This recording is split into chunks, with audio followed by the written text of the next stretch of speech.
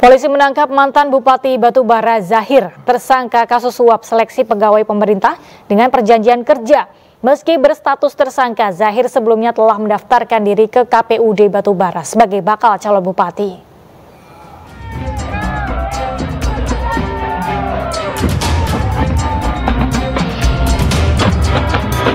Kedatangan pasangan bakal calon kepala daerah atau Bacakada Kabupaten Batubara periode 2024-2029 Zahir dan Aslam Rayuda pada 28 Agustus 2024 lalu disambut antusias pendukungnya.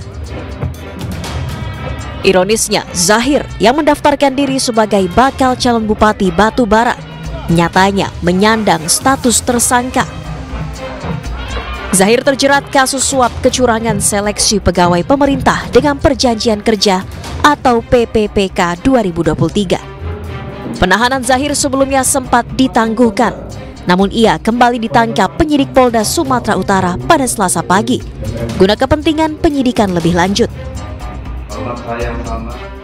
Menurut Kabit Humas Polda Sumatera Utara Kombes Hadi Wahyudi, Zahir saat ini tengah dalam proses pemeriksaan tambahan dan kemungkinan akan dilakukan penahanan.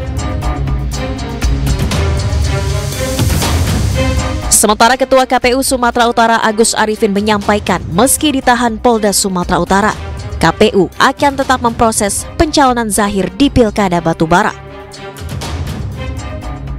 Sebab berdasarkan aturan, pembatalan pencalonan hanya bisa dilakukan jika sudah ada putusan pengadilan yang berkekuatan hukum tetap sehingga jika masih berstatus tersangka, proses pencalonan akan tetap berjalan.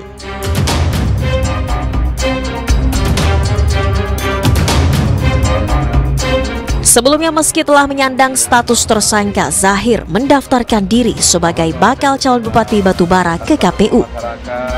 Ia berpasangan dengan Aslam Rayuda. Pasangan ini diusung PDIP, Hanura, dan Partai Umat.